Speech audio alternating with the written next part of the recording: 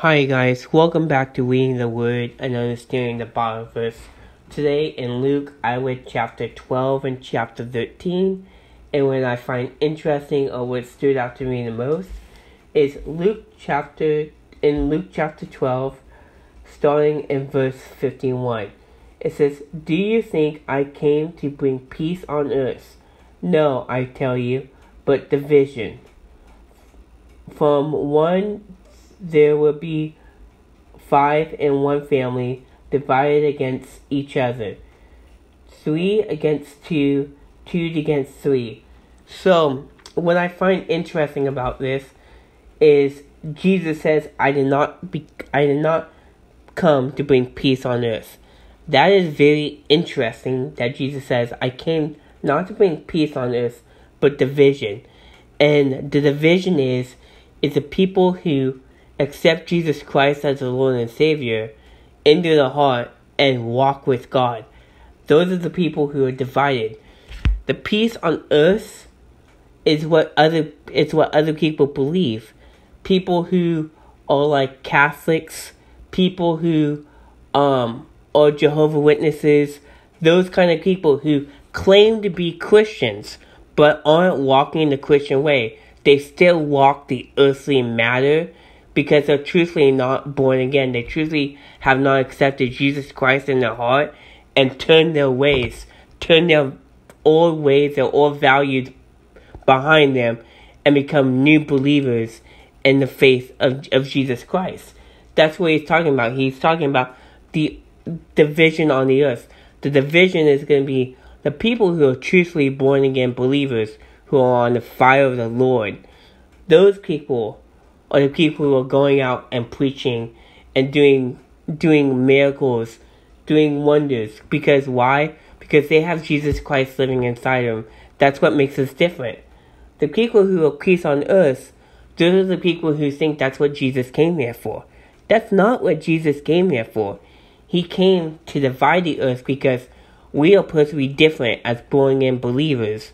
Different than people who walk the earth different than people say, well, Jesus came here for peace.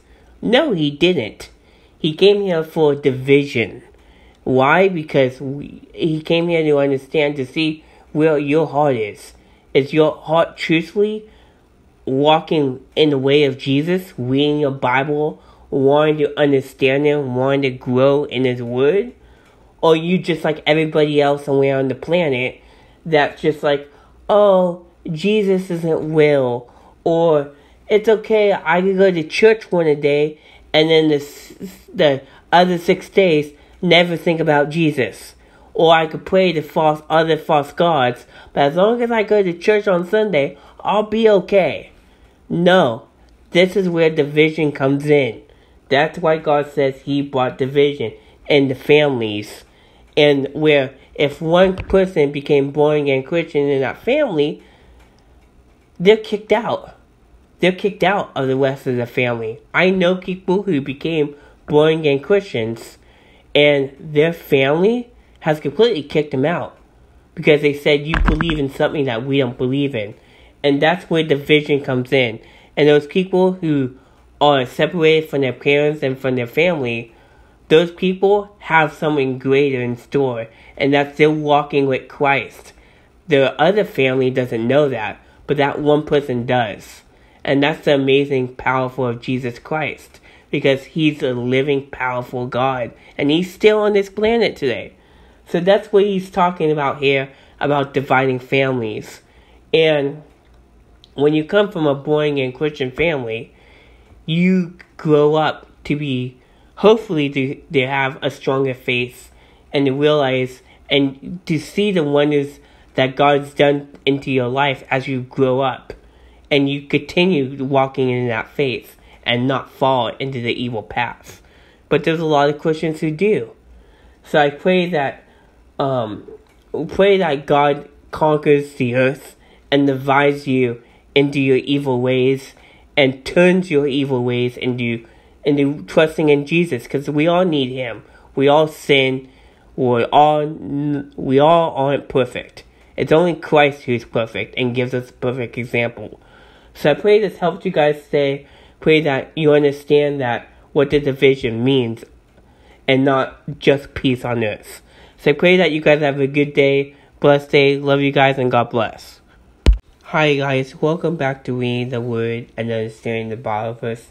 Today in Luke, I read chapter 12 and chapter 13, and what I find interesting, or what stood out to me the most, is in chapter 13, verse 10 through 17.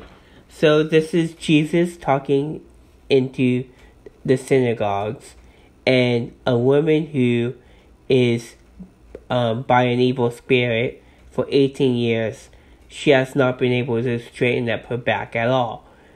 So, Jesus tells her, Woman, you are set free from your infirmity. So, then he put his hand on her, and immediately she straightened up and praised God. Now, imagine that that you see this woman you probably know for 18 years. She can't straighten out her back.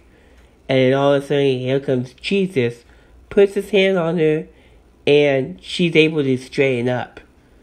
That's a miracle and a blessing that these people saw, right? And then you have the rulers over there who says, Why are you, there's six days of work. Why are you healing on the Sabbath? So you could just hear these people, these synagogue rulers saying like, Why are you healing on this day? There's six days of work and one day of rest. And then this is what Jesus says.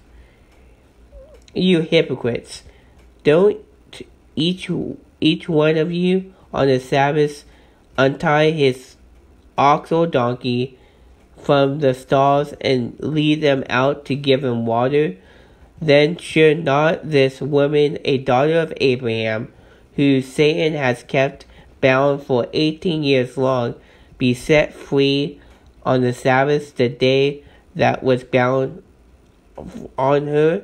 So this is what I find interesting. He's telling the people. He's telling. He's telling the people that hey, when your animal is tied up, you still unloose it and still give it water and food to drink. Why not? Why not this person who's been suffering from Satan for 18 years be healed? And then this is what I love about this so much is verse 17, which really makes it stand out.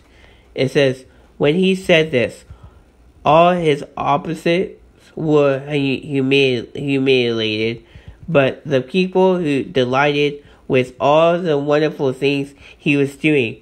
So everybody who was against him, right, were humiliated and didn't feel good for saying that. But then the people around them delighted what Jesus was doing because they were so happy praising God and saying thank you Jesus for doing this for this woman. And that's what's so awesome. That's what happens when you see miracles happen in your eyes. Is you just get filled up with the more Holy Spirit and the more presence of God. Just like Jesus walking on this earth.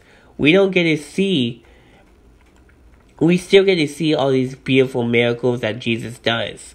Jesus may not be on this earth as he was, but the Holy Spirit allows us to still do these amazing miracles and still people being able to heal just like this just like this woman. And it's really cool to be able to see this. So i pray that you guys have an opportunity to have that same faith just like jesus does to be able to heal people or to be able to place their hand on them and for them to be able to be straightened up.